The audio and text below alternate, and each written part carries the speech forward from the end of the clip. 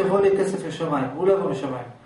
אתה תגדיר בדיוק מי הקהל הפוטנציאלי, ואתה תבדוק מה האלטרנטיבה. עכשיו, יכול להיות שתגלה שאין טעם לחפש.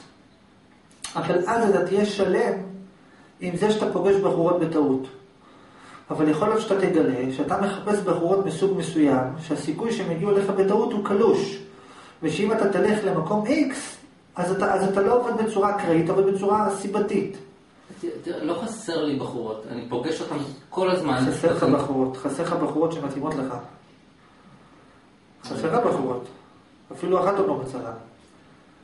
לא חסר בחורות שאולי ירצו, אבל חסר בחורות שמתאימות, שירצו אותך ושאתה תרצה אותם, זה עוד, לא מצא. חסר בחורות.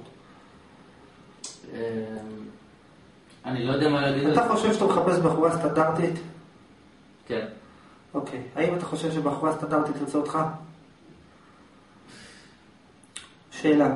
הבחורות שפגשת עד כבר לא, כאילו... הבחורות שפגשת עד סטנדרטיות?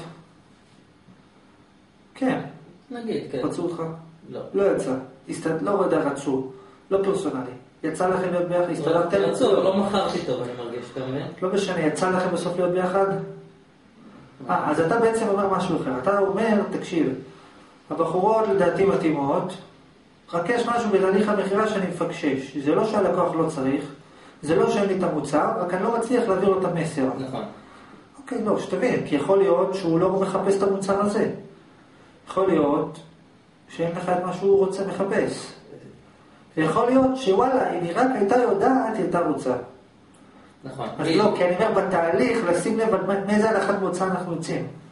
כי יכול להיות שאתה פשוט מכיר בחורות שלא מתאימות לך, אולי אתה צריך להכיר בחורות באופי אחר, ואז אולי אתה צריך למצוא אותן במקום אחר.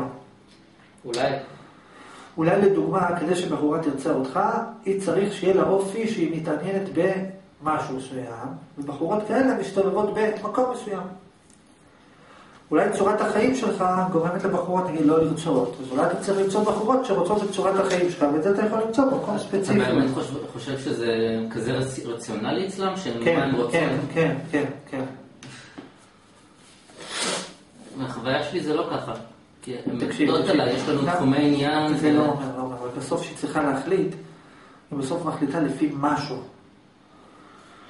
עוד פעם, אתם יכולים לנצל את זה, אבל בסוף היא צריכה להחליט, אני רוצה אותו כבן זוג או לא רוצה אותו כבן זוג. וההחלטה בסוף היא נעשית לפי חישוב מסוים.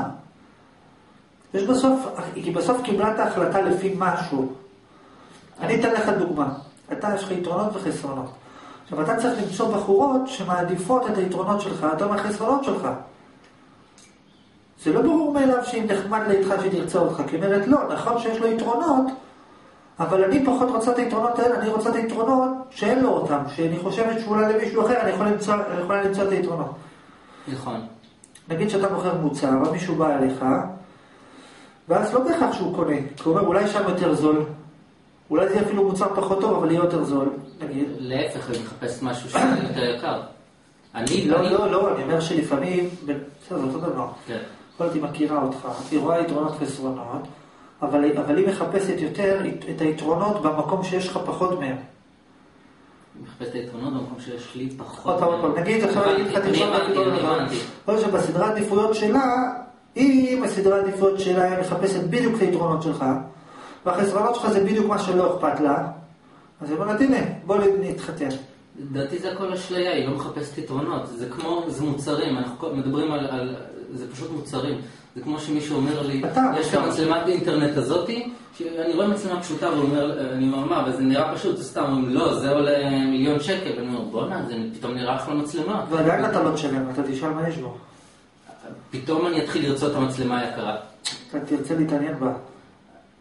הנקודה שלי, אבל אתה לא תשלם את המיליון שקל עד שלא תהיה בטוח שאתה צריך את זה. האנלוגיה שלי זה שאני חושב שאני מצלמה איכותית מאוד מאוד מאוד, אבל אני לא רוצה כסף על עצמי. אתה לא כאילו מצלמה מוכר. איכותית מאוד, זה משהו שאתה מפספס שניסיתי להסביר לך בפעם הקודמת, אתה לא מצלמה איכותית, אתה מצלמה מדגם איכותי עבור לקוחות X. זה לא, אין פה קנה מידה אובייקטיבי, אין אובייקטיבי בזוגיות. כן. אין אדם, אין אדם שהוא באופן יחסי יותר טוב. כן. יחסי יותר טוב ביחס למה שמחפשים. אז אתה לא חשבת על זה? כן, בהחלט. מה אתה אומר אני מצלמה מדגם טוב? מי מי החליט